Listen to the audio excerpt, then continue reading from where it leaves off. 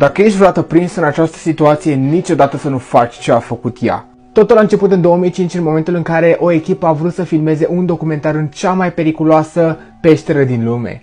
Câteva ore după ce ei s-au scufundat, o furtună gigantică vine și ei